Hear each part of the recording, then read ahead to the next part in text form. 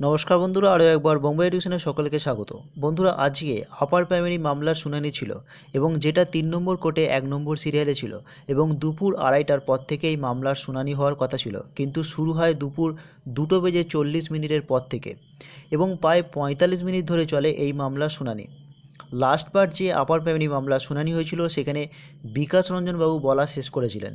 অর্থাৎ পিটিশনারদের পক্ষ থেকে যেসব অভিযোগ ছিল, তা তিনি বলেছিলেন এবং সেই সব প্রশ্নের উত্তর দেওয়ার কথা ছিল এজি স্যারের এবং আজকে যে পঁয়তাল্লিশ মিনিট ধরে হিয়ারিং হয়, সেখানে এজি স্যার অনেকটাই বলেছেন এবং তার একটি অর্ডারও পেশ করে দেওয়া হয়েছে, যেটা আপনারা স্ক্রিনে দেখতে পাচ্ছেন এবং সেখানে বলা হয়েছে, বাকিটা তিনি পরের ডেটে বলবেন। অর্থাৎ এজি স্যার আজকে যতটা বলেছেন, বাকিটা তিনি পরের ডেটে শেষ করবেন।